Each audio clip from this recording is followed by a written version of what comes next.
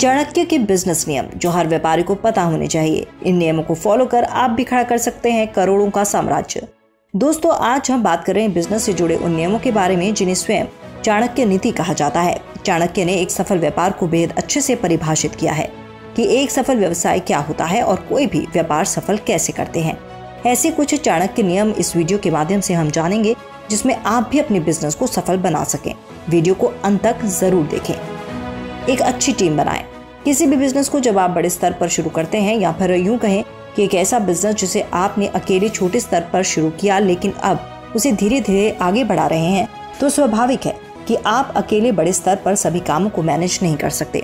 इसके लिए आपको किसी न किसी के साथ की आवश्यकता होती है, जिससे आप उसकी मदद आसानी से व्यापार के काम संभालने में कर सकें। ऐसे में अब चुनौती होती है कि जिस लगन से, मेहनत से आप अपने बिज़नेस को आगे बढ़ा रहे हैं और काम कर रहे हैं तो क्या दूसरे लोग भी आपकी तरह ही जोश के साथ काम करेंगे?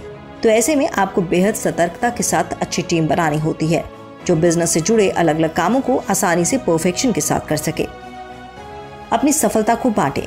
एक अच्छा व्यापारी वही है, जो अपने स्टाफ और टीम के लोगों को प्रोत्साहित करे। उनकी गलतियों को सुधार कर सही रास्ता दिखाए और उनकी मेहनत और लगन से जो फ़ायदा और कामयाबी मिल रही है, उसे उनके साथ शेयर करें। अपने आप को सफल रिज़ल्ट से हटाकर अपनी टीम को आगे रखे और यदि कुछ बुरा हो जाए तो एक लीडर की तरह आगे आए और जिम्मेदारियों का निर्वाह करें। उदाहरण के तौर पर, उन्नीस सौ नवासी में हमारे देश ने पहला रॉकेट बनाकर लॉन्च करने की कोशिश की थी। तब कुछ तकनीकी कारणों से रॉकेट लॉन्च फेल हो गया। एपीजे अब्दुल कलाम जी इस प्रोजेक्ट के डायरेक्टर थे और वो लोगों का सामना करने से डर रहे थे। उन्हें इस बात का भी दुख था कि देश के करोड़ों लोगों का पैसा इस प्रोजेक्ट के फेल होने से बर्बाद हो गया।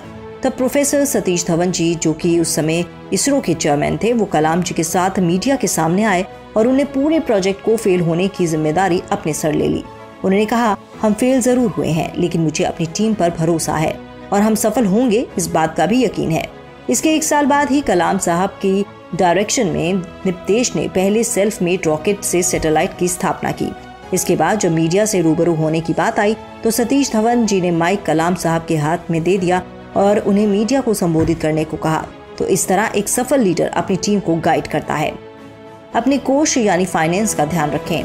चाणक्य नीति कहती है कि एक सफल बिजनेसमैन को प्रतिदिन समय निकालकर अपने फाइनेंस पर नज़र रखनी चाहिए, जिससे उसके अकाउंट में कितना बैंक बैलेंस है, कितना बजट है और आने वाले समय में और कितनी ज़रूरतें हैं, उन सभी बातों का पूर्णतः ज्ञान रहे, जिससे बिज़नेस में कभी भी घाटे की संभावना ना बचे। चाणक्य ने फाइनेंस पर ध्यान रखने के लिए चार स्टेप्स बताए जिन पर हर व्यापारी को नज़र डालनी चाहिए।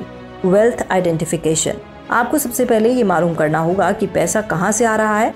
एक बिजनेसमैन प्रतिदिन अपने खर्चे के बारे में सोचता है। ऐसे में आपको ये मालूम करना होगा कि पैसा कहाँ से आ रहा है और पैसा बढ़ाने के लिए कौन कौन से नए आइडियाज़ पर रिसर्च करनी होगी आदि। तो इस तरह से एक सफल बिजनेसमैन अपने सोर्सेज का पता करता है। वेल्थ क्रिएशन पैसा बनाने के लिए बहुत अधिक मेहनत और धैर्य की आवश्यकता होती है। एक सफल आदमी से किसी ने पूछा कि, सर आपको सफलता एक रात में मिल गई, कैसा लग रहा है? तो उस सफल आदमी ने कहा, बेशक मुझे सफलता एक रात में मिली, लेकिन ये रात बहुत लंबी थी। इसी तरह जब आप मेहनत के साथ काम कर रहे होते हैं तो धैर्य की परीक्षा भी होती है। यही आपको कामयाब बनाती है। वेल्थ मैनेजमेंट पैसे का मैनेजमेंट ठीक तरीके से करना। किसी भी व्यापारी को ये तो पता ही होगा कि एक समस्या खत्म होती है, दूसरी समस्या शुरू हो जाती है। जब भी आप एक समस्या का समाधान निकाल लेते हैं उसे हरा देते हैं तो आपको एक नई चुनौती मिल जाती है। किसी भी बिज़नेस को चलाने के लिए उसकी फाइनेंशियल जरूरतों को मैनेज करना और कमाया हुआ पैसा सही जगह इन्वेस्ट करना या फिर बिज़नेस में निवेश भी सोच समझ कर करना, आदि स्टेप्स को बेहद सूझबूझ के साथ पूरा करना होगा, जिससे आपकी मेहनत का पैसा कहीं भी डूबे नहीं और आपका बिज़नेस मज़बूत रहे।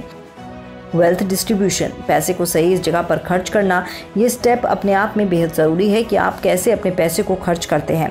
चाणक्य के हिसाब से एक महान लीडर वो होता है जो अपने बनाए गए वेल्थ यानी पैसे को दूसरे की मदद के लिए खर्च करे। ऐसी जगह अपना पैसा निवेश करे जो किसी के काम आ सके।